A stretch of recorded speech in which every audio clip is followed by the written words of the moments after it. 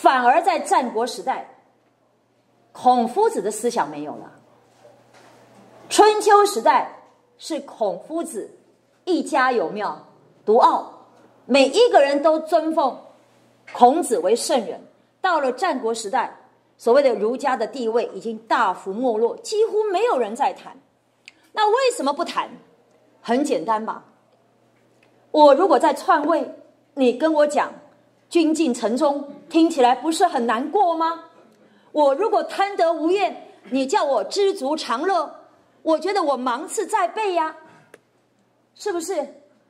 你看《孟子》七篇里面，你看到各国的君王共同的特色贪得无厌，他贪得无厌，下面的百姓。风行草野，君子之德风，小人之德草嘛。那上位者如果是不好的呢，是一棵有木呢，下面的百姓就是杂草嘛。有样学样，学样以后还可以再进步一步去改创。所以我们在看这些东西的时候，它又带给我们一个醒思。我们在听闻圣贤义理，当你听不进去的时候，你要去注意，不是圣贤的道理有问题。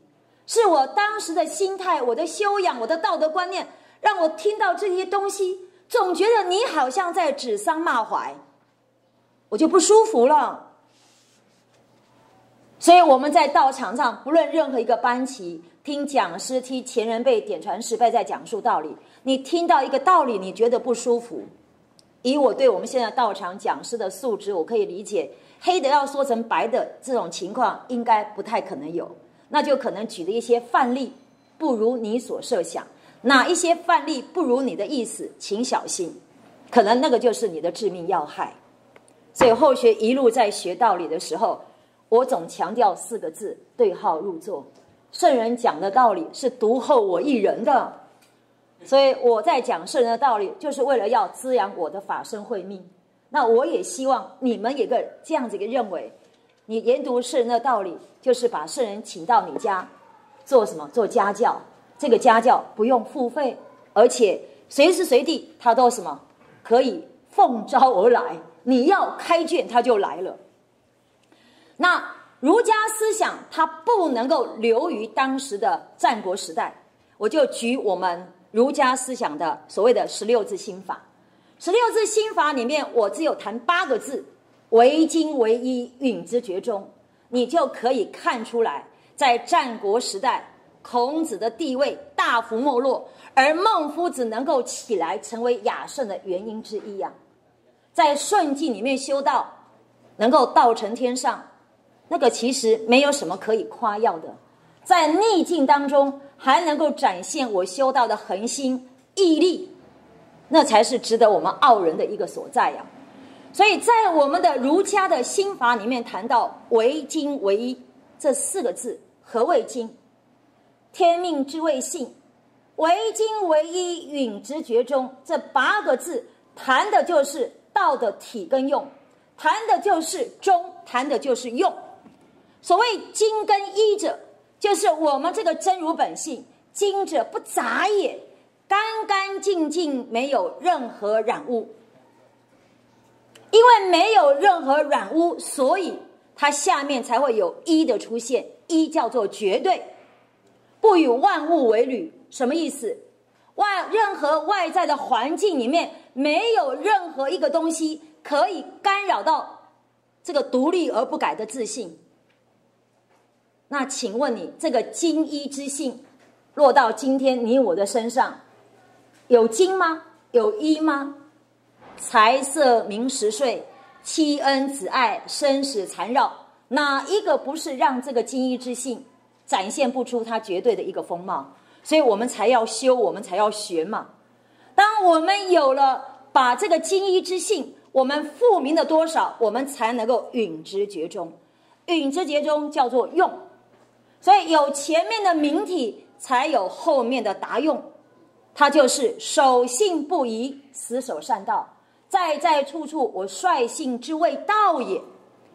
须臾跟须臾之间，一切的作为不背离这个天体，这个叫做允之绝中。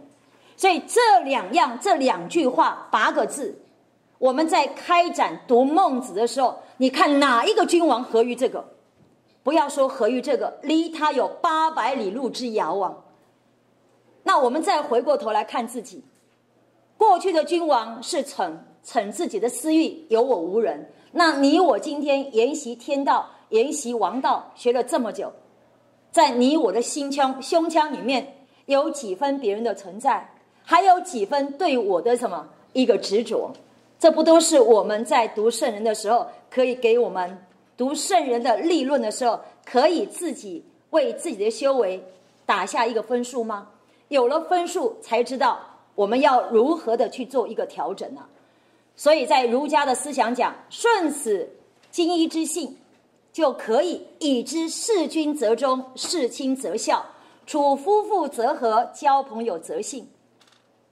然后呢，我们落到后天。常讲六万多年的轮回，自信受到污染。一旦受到污染，一切的行住坐卧、四肢百害流露于外的，他不能率性了。自信不能当家了，他不率性，他由情，情来自于人心。以佛学而言，叫做第六意识的主观心。那主观意识来自于我，有我则有私啊。所以由情则私，各位前贤，由情则私。所以做父母的想一想，你对儿女的爱是由情还由道？夫妻之间你由道还由情？什么意思？我觉得我很爱我的孩子，你真的很爱，你要把那个爱像佛陀一样发挥，那么你就不会因为你爱的对象他的作为而影响到你对他的爱有多少。理解我的意思吗？你透过这些的章句，你就引申到生活里面。我问过我们地方的道亲，他们爱子女，子女表现好，他们爱就来。然后当他有表现略微有一点不如自己预期的时候，考试跑不好啊，这个所谓的调皮捣蛋呢，就有的时候偶尔会有一种懊恼：我生他做什么？有没有注意到？因为你嫁到一个好先生，你娶到一个好老婆，他对你百依百顺，所以我爱你入骨。那如果他明天薪水不回来呢？对不对？老婆好吃懒做了，我们就有一个怨叹的话：眼睛被什么勾丢拉巴了？当你有这样感慨的时候，你是由情不由道，注意到了没有？所以五伦关系里面的。每一个东西的对应的态度，哪一个离开圣人之教？所以这些的家庭生活，我们要去行思的。所以情则有偏呐。原来我们在养儿育女，我们在处夫妇之间的时候，也不见得是道心在作用啊。于是就会让我们在学到的过程里面，不再画地自限了，看到了自己的缺点。看到自己隐微的瑕疵，我们才有补强的一个机会呀。所以学道、修道，透过学道知道自己的不足，知道自己过的地方。所以修道就是补不足、除多余嘛。像老子在《道德经》讲，以射箭为比翼呀。所以新兴的学说在百家争鸣之后，所有起来的学说，它是执于一端，它看的角度不一样。它的立论就不一样，或者有一些是标新立异的。如果你们有读过历史，甚至在你们那本书上或许有看过，在当时还有一些的那些所谓的弘扬的学说，简直是不堪入目的。他纵欲，他主张纵欲，还有纵欲的学派。可是这样的一个学说能够推行出去，可见他也摄受一些的有缘之人嘛。就像今天我们所处的，你讲仁义说道德，也不是每一个人都很喜欢听啊。好，如果你找他呼朋引伴到外面去，所谓的尽情的享受，他还很有很很多的空档可以配合。所以过去跟今天没有差异。时间是什么意思？时间不过代表人心的一个转化而已。空间没有任何的意义，从这个点移到那个点，点在变，但是人心的取向。有没有因着我们的到来，而那个地方的人心取向，它有往上的一个提升，而不是往下的堕落？而前提就是我们自己提升了没有？所以这么多的所谓的学说立论，在学术自由的情况之下产生，如果都是来自于圣人之教，它就不会有战国风气的一个盛行了。可是都是一些自己的发明新地，而且多半都流于哗众取宠，因为他们的动机都是为了谋一己之私利。苏秦、张仪不是为了谋私利吗？商鞅不是也为了要建立自己的声威吗？你去研究法家韩非子，你就知道了。没有一个是为国为民的，前提都是创造自己的名闻利养，所以他们的学说就容易带动人心的更深一层的腐败，加重了社会的动荡不安呐。包括墨家也是如此。啊，那因为我们是钻研孟子，孟子，所以对于墨家所说，或许就不要琢磨太多了。那接着我们进入到孟子，孟子名科，生于周烈王四年。西元前三百七十二年，各位前去想一想，他跟孔夫子离了多久？他跟孔夫子最相同的地方，两位圣人都是来自于山东，这也是我很津津乐道的，因为沾了地缘之光啊，是不是？但是有山东的地缘关系，因为欠缺的血缘，所以没有那个资质啊。他本来是山东鲁国人。后来迁居到周地，成为周国人。就像我们本来是在台湾，好跑到了其他国家，就取得其他国家的呃这个所谓的国民的身份证。但是过去的移民是很简单的，只要你迁移就好。现在要经过其他国家的允许与否啊。他跟孔夫子最雷同的是身世，所以有的时候我们觉得自己的家庭背景不好。修道的过程太多的坎坷，你读到孔子，你读到孟子，你会觉得我们所遇到的跟人家比，这根本就不值得一提。孟子三岁丈夫丧父，由母亲抚养长大，跟孔夫子一模一样，对不对？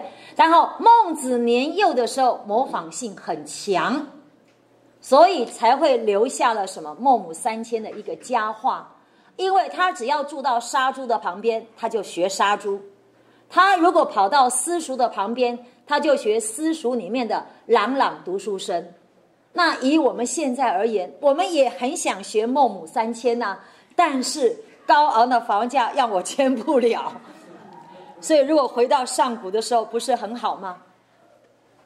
所以你看看，孟子在这样的一个家庭背景长大，人家的心系有偏曲吗？没有。他是单亲家庭，他的经济环境也不够好，可是依然造就了人家圣人的资质，所以这个叫做根气。我现在只是凡夫，我培养自己，我可以迈入贤域，我再进一步的提升，我再来的时候，也可以像孔孟两位圣人一样啊，有这么良好的根气啊。所以读圣贤书要立什么圣贤志啊？立圣贤志就是。顺何人与何人？我若有心，我亦是啊！你有夺圣人之志的那种雄心大略，有没有？他是圣人所乐见的。那孟子他不是直接受教于所谓的孔子跟子思子时代的背景，时间上已经看出来，他是由子思子的门人赏识，然后带进了儒家的一个领域。那我们知道子思子。他是孔夫子的孙子，所以他尽得孔门的一个心法，因此孟子所学的叫做正统的儒家思想，也因为是正统的儒家思想，面对战国时代的百家争鸣，那么多不如理、不如法、违背圣人之教的言论，他看不下去了，他看不下去，他不在台面下在那边发牢骚。他要到台面上，他发雄心、发大愿，他以他的一己的力量 要去力挽什么狂澜？我们有没有这个心？所以孔子在跟着子思子的门人学儒家思想，当他学业有成以后，他跟孔子一样教授学生，他也曾经学取法孔子，带着学生周游列国。但是他周游列国的声势，要比孔夫子来的什么来的壮大，跟着他的车辆有几十辆啊，随行的弟子很多啊，他第一站到的地方是齐国。有地方的讲师问我，他到了这样，那为什么第一篇要用梁惠王篇为代表？梁惠王篇也不是只有谈跟梁惠王的绘画嘛？他孟子七篇怎么样的集结，跟我们毫不相干的，因为它是独立的单元，不影响他的思想脉络的一个完整性。所以，我们只要在每一个单元里面择取他的微言大义。至于他要哪个摆第一章，哪个点摆第二章，好像不要琢磨太多。这个跟《大学》《中庸》不一样的。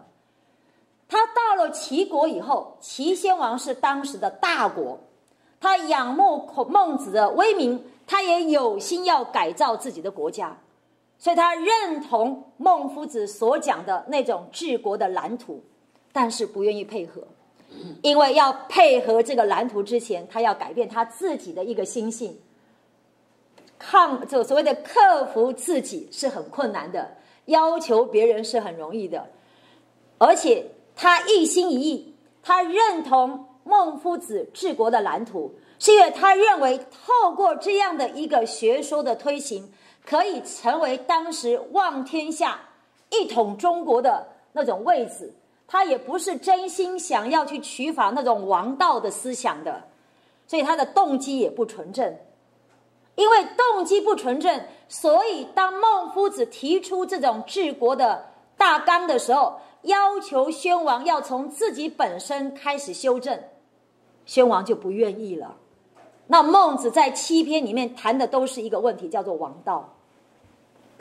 刚刚后学用“中庸”两个字来讲，“中”是体，体是天道，谈天道一定要无我，所以你我一定要在学道的过程，第一步先去我执。三教圣人都叫我们去我执，我执去化的多少，就攸关我们的欲望有多强。因为欲望就是因我而有的，有我才有金钱，才有情爱，才有生死的一个困惑嘛。所以放诸四海皆准，你要内圣有所修养，有所提升，你不能不把我去掉。所以谈中庸的体，明体就是要去我执。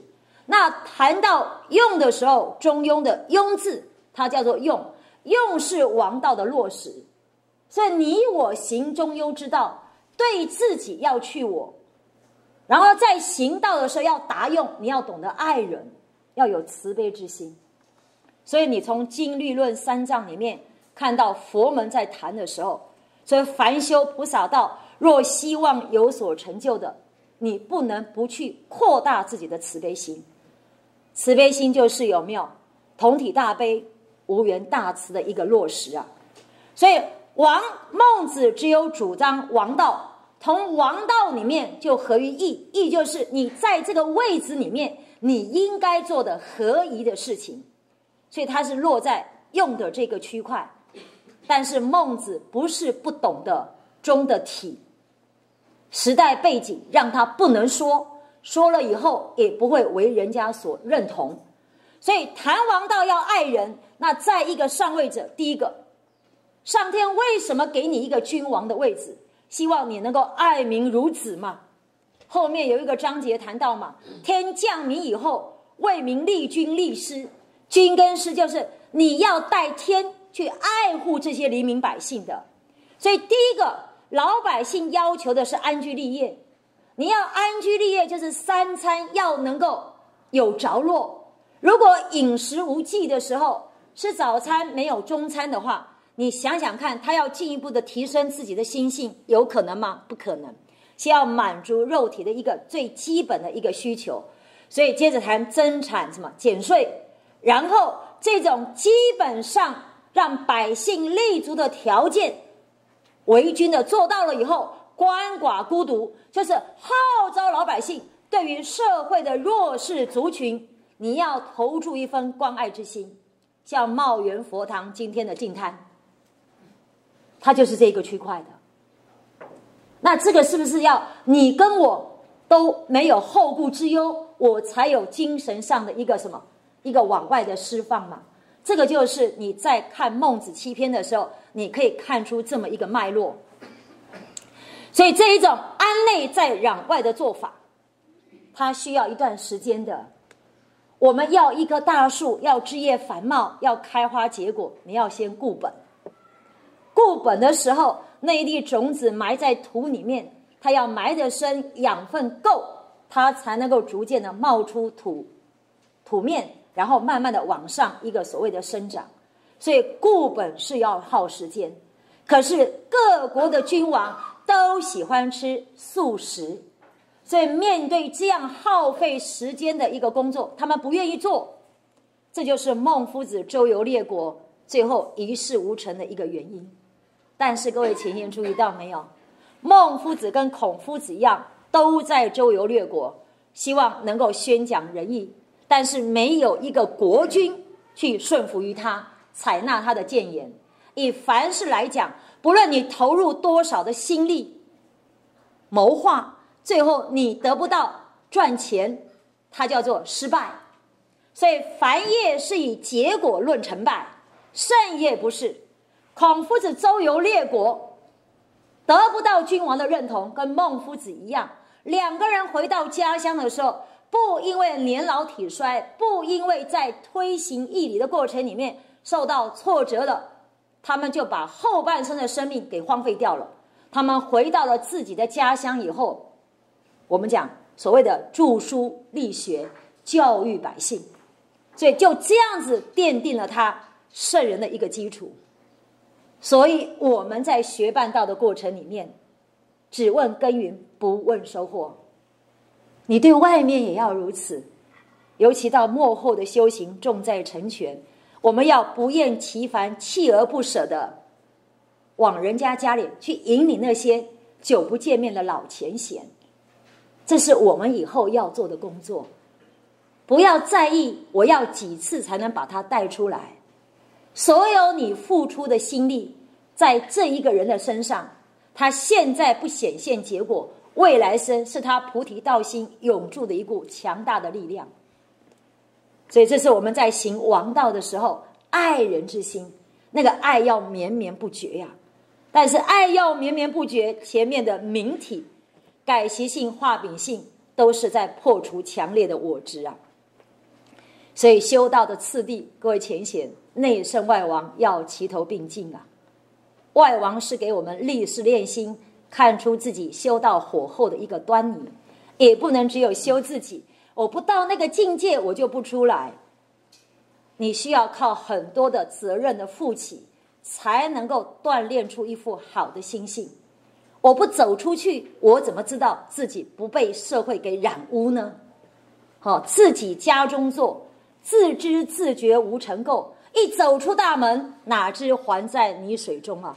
两脚在名利当中，在情爱当中，在恩怨情仇的纠葛当中，火候就在那边看出来。所以行外王的时候要有感恩之心，因为有那么多人给我们提供机会，让我们能够照见自己的无名。